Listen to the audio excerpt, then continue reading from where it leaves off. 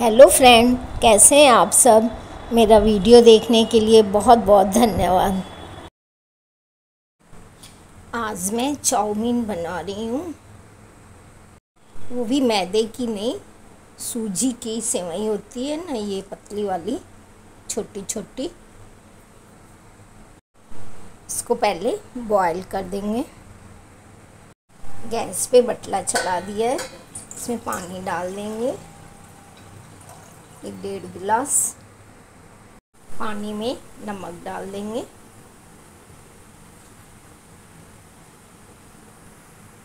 इसको ढक देंगे, पानी बॉयल होने देंगे। पानी बॉयल हो जाए अब इसमें ये सेवई को डाल देंगे।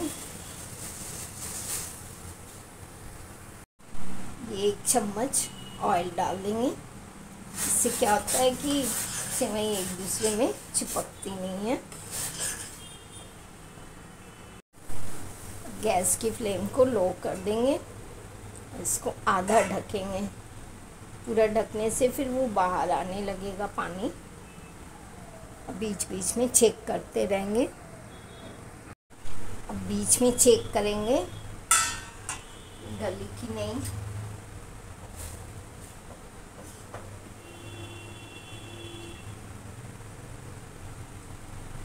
अभी नहीं गली है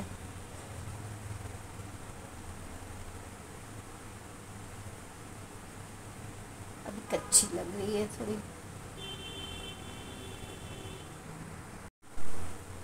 अब ये गल गई है इसको छान देंगे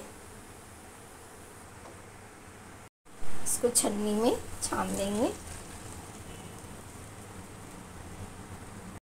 और उसको ऊपर से थोड़ा ठंडा पानी डाल देंगे जिससे ये आपस में चिपके नहीं।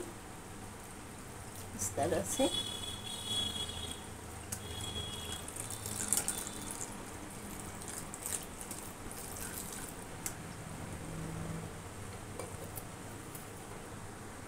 सेवई हो गई। अब मैं चाउमीन बना रही हूँ। गैस पे कढ़ाई चढ़ा दी है। इसमें थोड़ा सा ऑयल डालेंगे। ऑयल गरम हो गया ये तीन चार कली लहसुन को पतली पतली कट कर दिए हैं। ये हरी मिर्ची। इसको थोड़े सॉट कर देंगे। ज़्यादा नहीं, हल्का सा।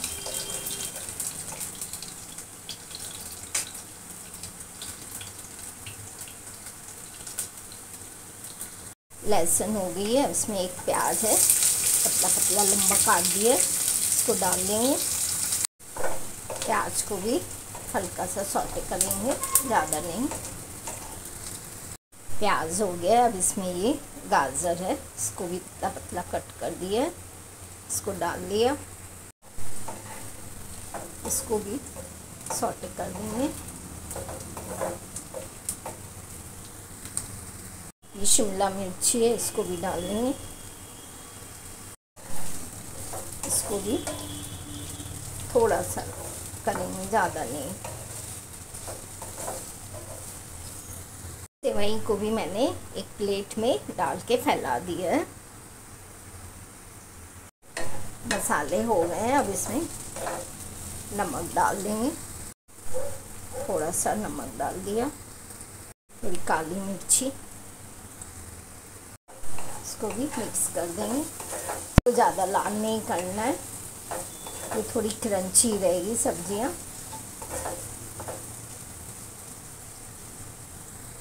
अब मैं इसमें सॉसेस डाल रही हूँ, ये सोया सॉस, ये चिली सॉस, ये टमाटो सॉस। इन सबको भी अच्छे से मिक्स कर देंगे।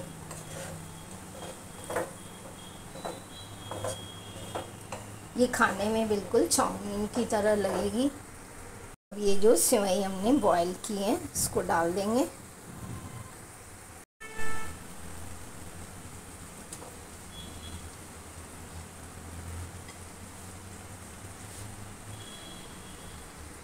इसको भी मिक्स कर देंगे इसके साथ।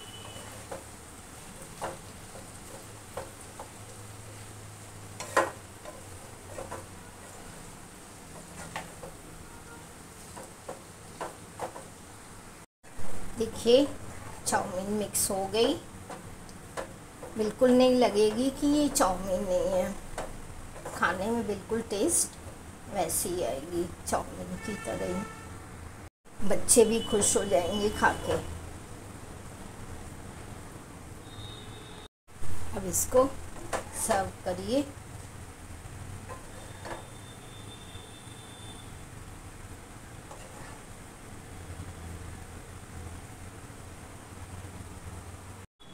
देखिए चाउमीन बन गई।